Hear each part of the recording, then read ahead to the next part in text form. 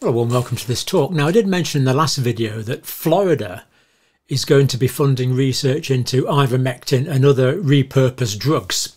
So I've just put something briefly together on this. It shouldn't take too long, but for example, here's uh, the Florida Phoenix ivermectin from the Capitol to state funded cancer research. It's a thing in Florida. And then there's releases from the Ron DeSantis uh, administration and there's releases from uh, Florida Health as well, and various other references that I've put in that you can uh, peruse at your leisure. Now, at the moment in the United States, as far as I can tell, Tennessee, Arkansas, Louisiana, Idaho, and Texas, in all of those states, and please, if you live in those states and I'm wrong, do correct me. I believe that you can buy ivermectin over the counter in those states. Now, as far as I'm aware, fenbendazole is not authorised for human use anywhere in the States, but mebendazole and albendazole are. And Florida looks like it's soon going to be joining Tennessee, Arkansas, Louisiana, Idaho, Texas in buying over the counter ivermectin. So Florida's launched something called the uh, Florida Cancer Innovation Fund and it's got new priority categories for research. And uh, these make a lot of sense. This year introduces dedicated funding categories for nutrition based cancer prevention research and generic drug repurposing, for example, ivermectin, reflecting Florida's leadership in comprehensive cancer prevention and accessible treatment innovation. So this is cancer research in Florida and it's going to be quite well funded. The funding so far I think is up to $140 million in total. Talking about novel treatments, and, and, and this should be getting done everywhere. Florida, as far as I know, is the only administration in the world that's taking up this challenge of research. Novel treatments development and testing of novel cancer treatments, cost effective generic drugs, and supportive holistic therapies that can show measurable patient impact within the grant period, which is one year. And looking at your feedback, um, that won't be difficult to do at all. Some of you have had amazing benefits with these alternative treatments in a very short period of time. And um, ivermectin, for example, is known to be a remarkably safe drug as is mebendazole. Uh, projects must demonstrate immediate clinical uh, applicability uh, and potential for broad uh, adoption. Now, what Florida finds out, of course, the rest of us will be looking at with some interest. And, uh, well, I was going to say our governments will follow, but of course they probably won't because they are, there's various reasons why they probably won't. Um, but at least looks like Florida is going to be coming up with pretty hard data applicable to the bedside and the preventative situation within a year, which is remarkably encouraging. Well done, state of Florida. Not so well done, the United Kingdom, or Australia, or Canada, or New Zealand, or Ireland. Governor Ron DeSantis and the First Lady Casey DeSantis. Now, now uh, the First Lady uh, DeSantis um, I believe she did have breast cancer herself from memory in 2021. I'm delighted to say at the moment, as far as I know, uh, she's cancer free, but she has had experience with that in 2021.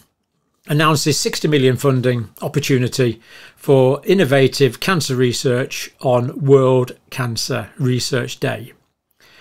Uh, the release here says further priority will be given to projects that focus on nutrition and the repurposing of generic drugs such as ivermectin for cancer treatment. This is really good news.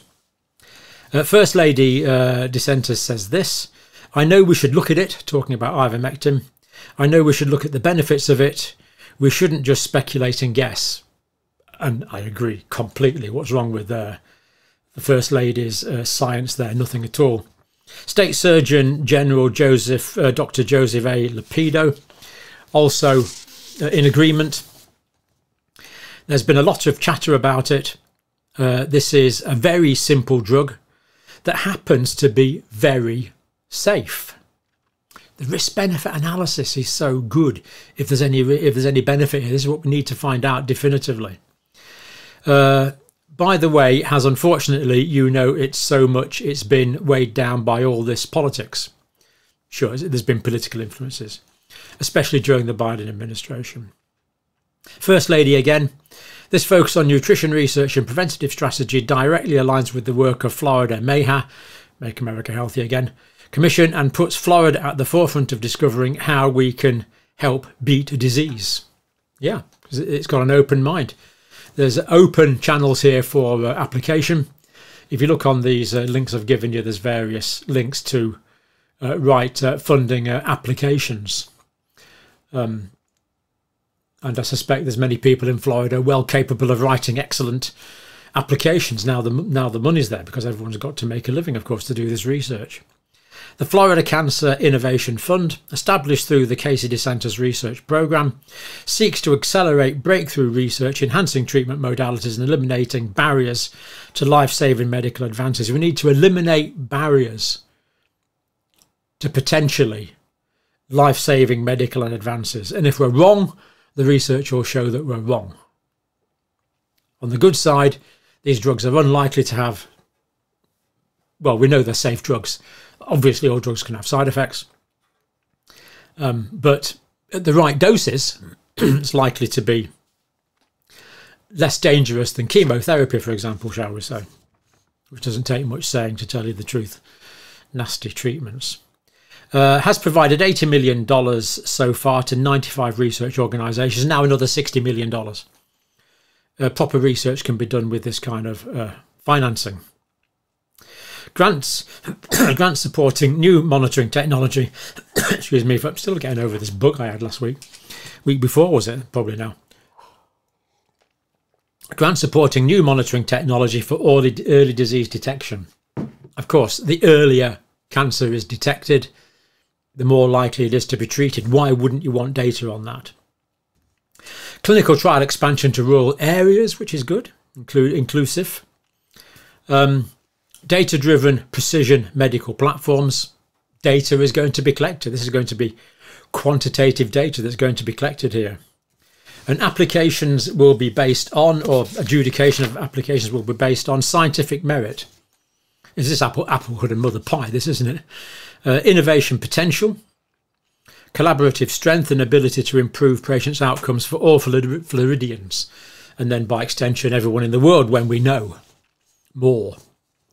Priority will be given to translational research. That's just research that can be used fairly quickly, sort of bench to bedside type of thing, used in the real world. Direct interventions with measurable outcomes. I mean, a lot of these interventions are being carried out already informally because people with cancer are desperate. Uh, again, there could be a way of just quantifying this, collecting the data prospectively as we go along. Uh, and projects serving rural and medically underserved areas throughout Florida, which of course is excellent. Collaborative projects that bring together oncologist researchers and cancer treatment centres to break down traditional silos. I agree completely. Um, you know, you can get like one group of professionals there and one group of professionals there, and there the twain shall meet. We need to break those silos down. Um, and foster rapid advancements in cancer care on, uh, so that rapid advancements in cancer care are prioritised. Excellent. Official state level funding from Florida. Don't know of it going on anywhere else. And this means we can be getting real answers within a year. Once this data is paid for, carried out, published, hopefully within a year, maybe a little more to write up the uh, the papers. Academics can be slow in writing up papers. Um, and the peer review process, we're going to get some definitive answers.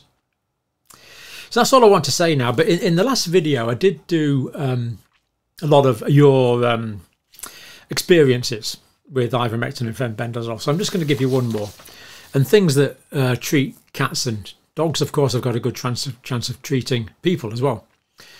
Or it's certainly worth bearing in mind. Uh, this is just from one account from uh, a viewer from the last video where we looked at the feedback from the last video. Uh, my 11 year old cat was diagnosed with, with, cancer all through his body, which had start, started in his mouth. He also had visible tumours on his abdomen.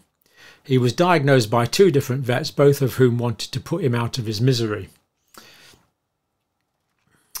Right. Immediately.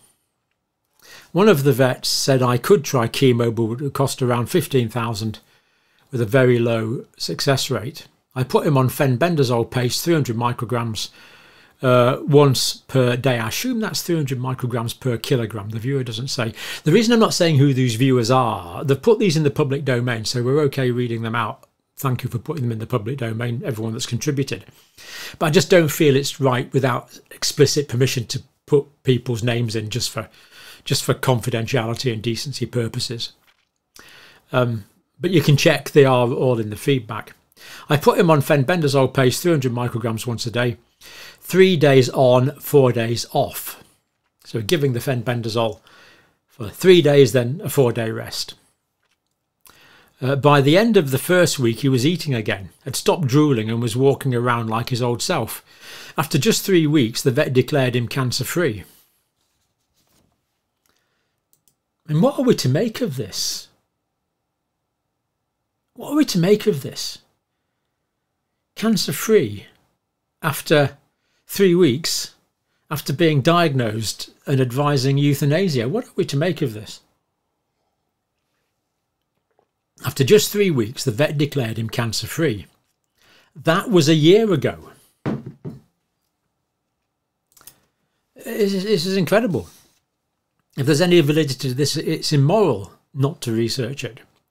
My cat is now fat and happy and in excellent health. I paid about 21 Australian dollars, 12 English pounds, for each syringe of edible paste to put on his food. Each syringe contained enough fenbendazole for three days of active treatment. Then he had four days, four day break before starting again the next week. So what are we talking about here? $120 or something altogether. Um, biggest cost was having it shipped to Australia. I'm pleased you could get it to Australia. Um, I bought it direct from a vet supply company. Uh, remember, I'm not telling you what to take for yourselves or indeed for your animals. I'm not a vet. Um, and uh, I'm certainly not your doctor. Um, in fact, I'm a nurse lecturer. Um, biggest cost was having it shipped to Australia. I bought it direct from a vet supplying company. They had also, well, I'm a retired nurse lecturer. they, they had also uh, uh, tasteless fenbendazole granules, which could be sprinkled on food. Interesting. So they also had tasteless fenbendazole granules, which could be sprinkled on food. I imagine this would be a better option for humans. Oh, heck, I, am just reading that out. I'm not telling you what to do. Please don't do anything based, because fenbendazole is not authorised for humans, remember. This is a veterinary comment. Uh, oh, I'm grateful and uh, amazed every day that my dear cat has fully recovered. He only took fenbendazole for a total of four weeks, nothing else. The vet couldn't believe it. It's a miracle as far as I'm concerned. And I must say, I, I, I agree it appears to be. Given all these anecdotes that we've looked at, I consider it unethical for um, this not to be researched. Um, ivermectin, mebendazole, fenbendazole. Of course, we looked at turkey tail as well. The, the mushroom, we looked at that uh, uh, recently and we saw a dog that was apparently cured and a human that was doing remarkably well after uh, turkey tail. There's also a herb I haven't looked into much called Artemisia, uh, Artemisius annuus, uh, which deserves to be looked at as well. But from the evidence we've looked at here, no question that these antiparasitics should be investigated for their anti-cancer properties, in my view. Let me know what you think. Um, if you live in the rest of the United States or in Canada or the United Kingdom or France or Germany or Ireland or New Zealand and Australia, don't hold your breath, sadly. Well done, Florida. And uh, if you're interested in that research, uh, do put an application in if you're an academic watching this. Um, the money's there and I'm sure will be effectively used and I'm expecting hard data within a year, which God willing we will look at at the time. But for now, as always, thank you for watching. God bless.